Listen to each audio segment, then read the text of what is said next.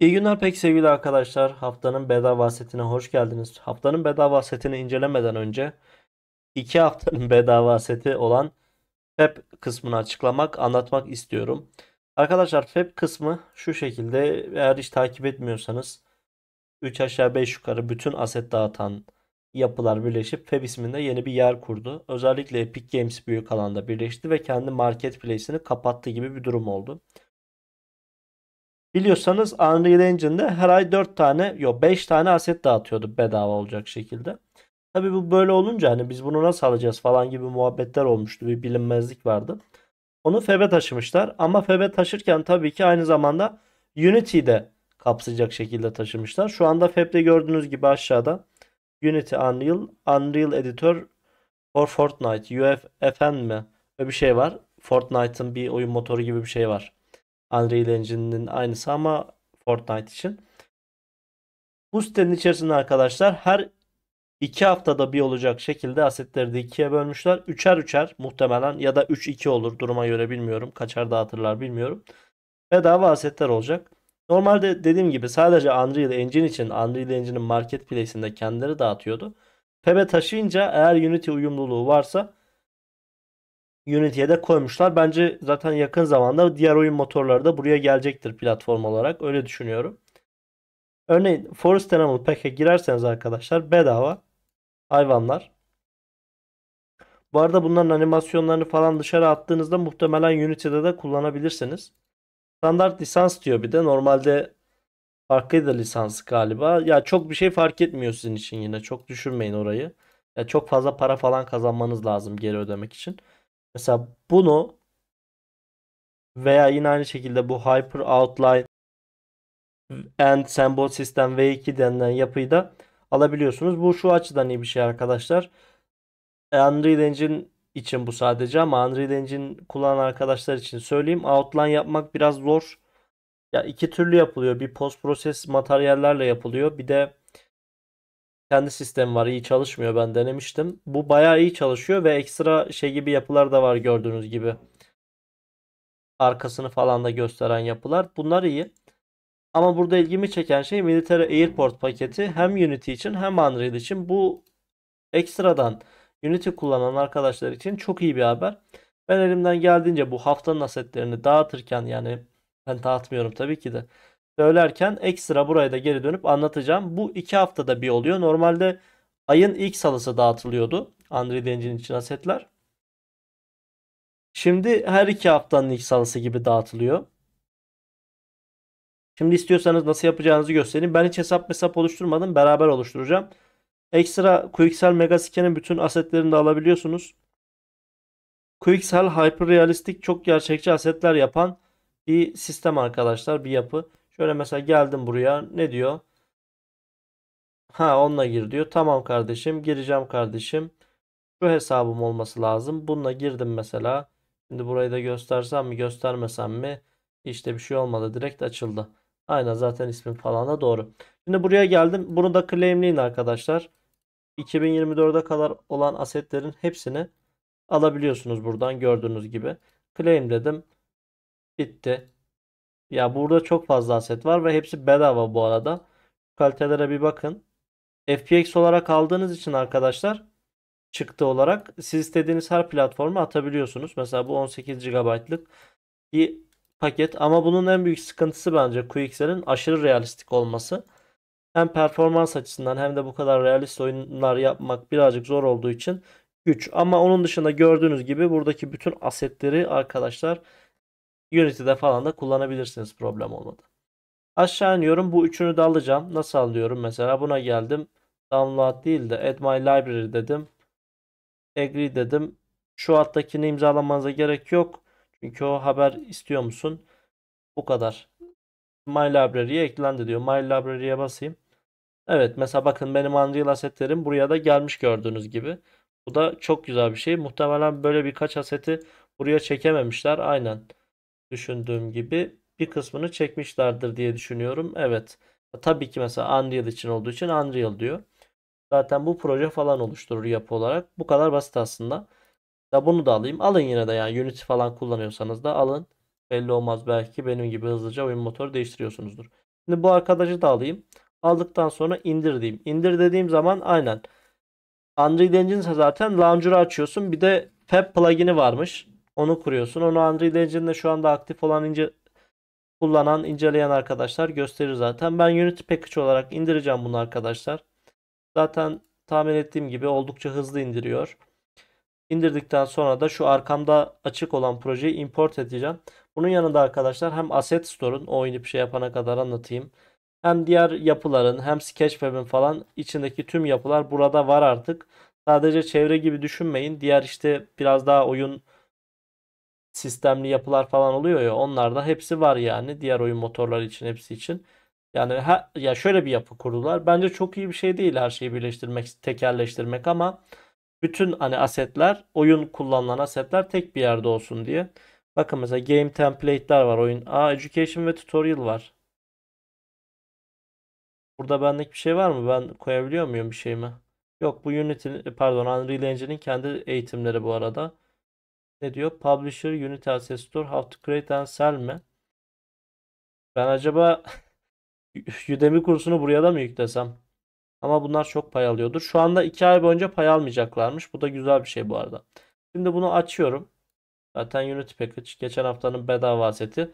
Birazdan da zaten o bedava sete geçip onu inceleyeceğiz arkadaşlar. Yani burada durun, benle kalın. Şu import işini çözünce hemen geliyorum. Evet arkadaşlar, şu aradan 15 dakika falan geçti. Size anlatayım. Arada bir sürü keseceğim kısım oldu. Aseti indirdim ve import ediyorum. Arkada açık olan proje URP bir projeydi. E, attım ama işte shader'larda hata verdi. Upgrade etmek istedim, edemedim. Ya neyse dedim herhalde URP uyumlu değil. Bir normal açayım dedim. Standart açtım. Yine aynı şekilde hata verdi. Sonra biraz araştırayım dedim. Bu aldığım hatayı intentional error falan yazıyordu shader kısmında. Şey kısmında alıyormuşuz arkadaşlar. Proje HDRP isteyebiliyormuş. Sevgili dostlarımız Febe nedense yani versiyonunun içine yazmamış onu. Şurada görüyorsunuz arkadaşlar. C details diyorsunuz. Teknik kısmına iniyorsunuz. Çok küçük bir şekilde HDRP shaders yazıyor. Ya kardeşim bu Unity için çok önemli bir şey projelerin yapısı için. Bunu başa yazsana. Çok kötü bir açık bu arada. Sizin yerinize ben bu sıkıntıyı yaşadım diyebilirim. Şu anda indirdi bu arada ya importunu etti. Hiç açmadım. Birlikte bakacağız. Hep pembe pembe görmüştüm. Demo map'e girelim. Don't save. Orayı save'lesen de olacak. Muhtemelen problem olmadan açacaktır. Evet problem olmadan açtı gibi ama HDRP proje olduğu için birazcık oha çok iyi gözüküyor ne? Yani sözlerimi geri alabilirim birazdan. Birazdan sözlerimi geri alabilirim. Bir tık sağlam arkadaşlar. Bu haftanın bedava seti henüz gelmedi bu arada. Neden sonda bir saat geciktirmişler ama bir de LOD'li. Kaç LOD? 3 mü? Klasik 3'tür ya. Aynen. 2, 1 ve 0. Değil mi? Aynen. Bu inanılmaz optimize. Şu an kaç FPS çalışıyor bu? Ona bir bakalım. Game'e bastık. Statlara bastık. Buradan çok belli olmuyor ama şey diyelim. FPS'imiz kaç hocam? 50 falan gibi görüyorum. Bir bakalım. Aynen. Yeterince iyi bu arada böyle bir sahne için. Bura çok büyük bir alan bu arada. Ağaçlar falan var ve bunlar da hareket ediyor. Gördüğünüz gibi az önce şeyde de.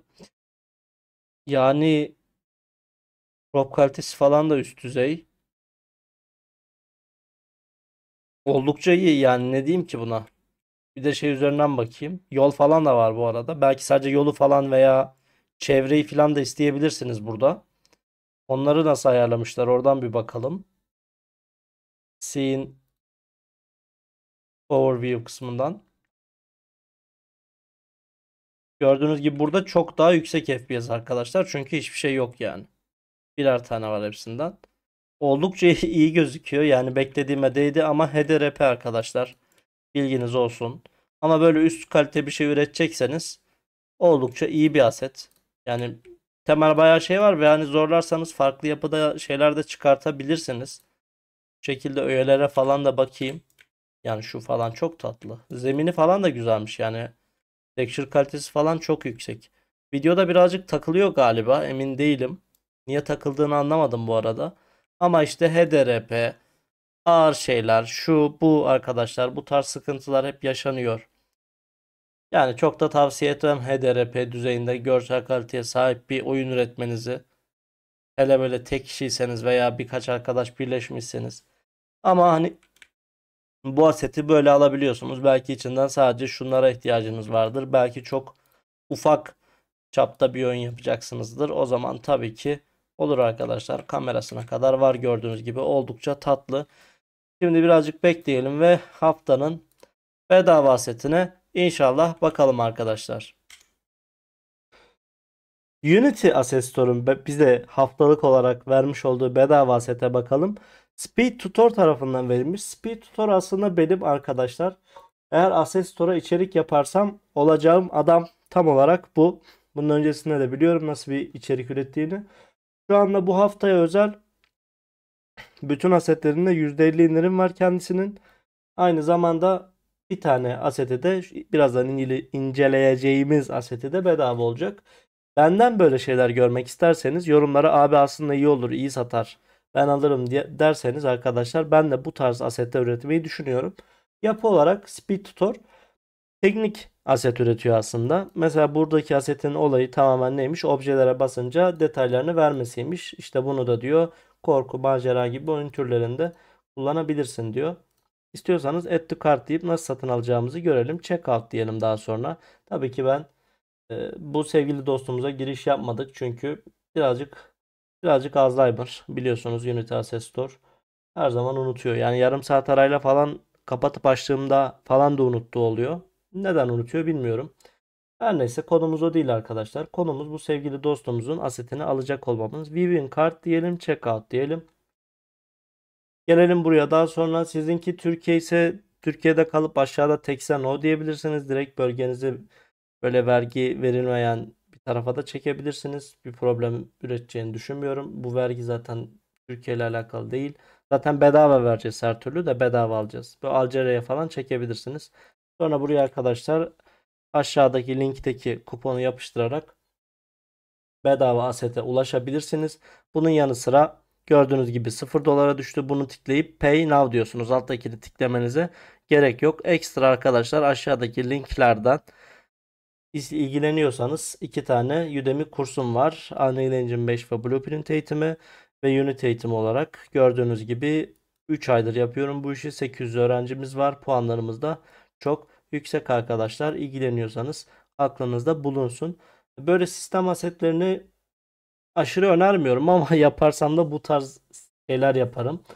Eğer kodcu değilseniz, eğer tasarımcıysanız falan iyi bir şey veya nasıl yapmış diye inceleyecekseniz de iyi bir şey. Onun dışında ama süper de bir şey değil aslında. Belli açılardan bence. Şimdi burada ne sistem varmış? Raycast sistem, objelerin adını gösterme, detaylarını gösterme, baktığında ses oynatma, birazcık da ekstra model varmış. Bunları demonstre edebilmek için import diyeceğim. Ne diyor anlamadım. Evet import. Import. Birazcık kendi sistem yazmış arka planda sanırım. Kendisinin bir YouTube kanalı da var.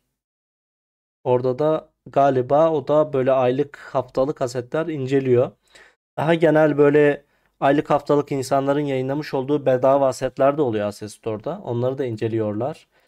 Belki ben de yakın zamanda o tarz bir şeyler yapabilirim. Demo Scene Assets diye bir şey var. Şöyle sahnelerden açalım arkadaşlar. Şöyle bir sahnemiz var burada. Şöyle buraya gelelim. Gördüğünüz gibi oldukça tatlı bir yapı var. Şöyle play deyip bir bakalım nasıl bir yapı kurmuş arkadaşımız. Bir şey söyleyeyim mi? Fena değil. Belki sadece kontrolcüyü bile almak isteyebilirsiniz. An empty jerry can. Maybe I could fill this up with fuel. This looks old. I wonder- Nedense ama şeyler boş gözüküyor. Şöyle bir bakalım. Ya burada ismi gözükmesine rağmen buradaki UI'da ismi boş gözüküyor nedense. Oldukça basit sistemler üzerinden yapmış bu arada. Şöyle bir şeye tıkladım bakalım ne oldu. Belki de Unity 6 I diyedir arkadaşlar. Smash Pro ile alakalı olabilir diye düşündüm bir de. Hemen gelelim. Şuradaki teksti bulalım. Aynen font yok. Fontu yokmuş arkadaşlar. Tamam sıkıntıyı çözdük. Şimdi tekrar play diyelim. Hı. This looks old. Da eski gözüküyor. En son ne zaman kullanıldı acaba? Çok basit bir sistem bu arada. Yani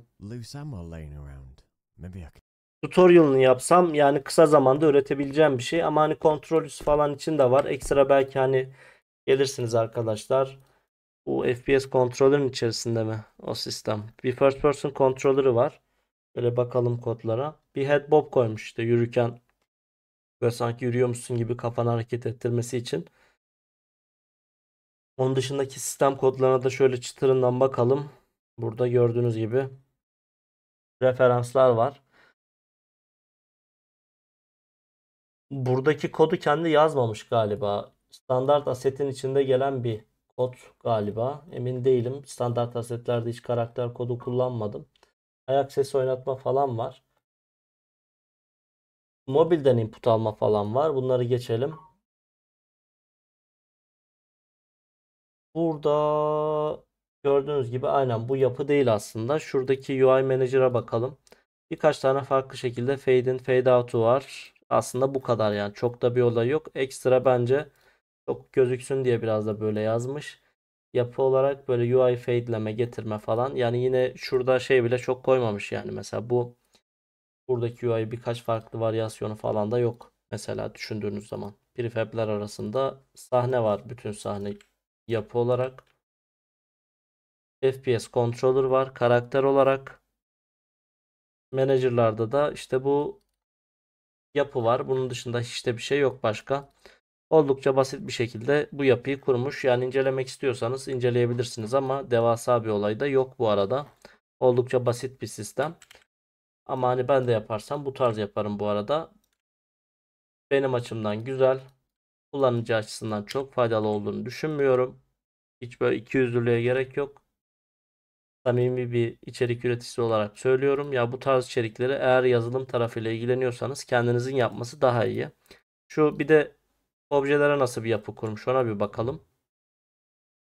Ya bunu bile aslında şey yapmamış. İsmi nedir? Bir scriptable objeyi dönüştürüp de işte ismi var mı, detayı var mı, ses oynatsın mı? İşte burada oynatacağı ses, burada yazacağı yazı falan var. Yani bunu da yine kopyala yapıştır falan yapıyorsun. Bilmiyorum arkadaşlar. Belki doğrusu da budur. Belki rahatı da budur ve ses objesini de buraya koymuş. Yani aslında bu olayda bu kadar. Bu asette bu şekilde alabilirsiniz. Bu hafta iki tane aset vardı. Belki haftaya daha güzelleri verilir. Bu aset konusunda ne düşünüyorsunuz? Benim bu kurslar ve eğitimler konusunu yüklemem konusunda ne düşünüyorsunuz? Bir de bu tarz asetler üretmem konusunda ne düşünüyorsunuz? Bir de genel olarak ne düşünüyorsunuz? Yorumlara yazmayı unutmayın. Hoşçakalın. Bay bay.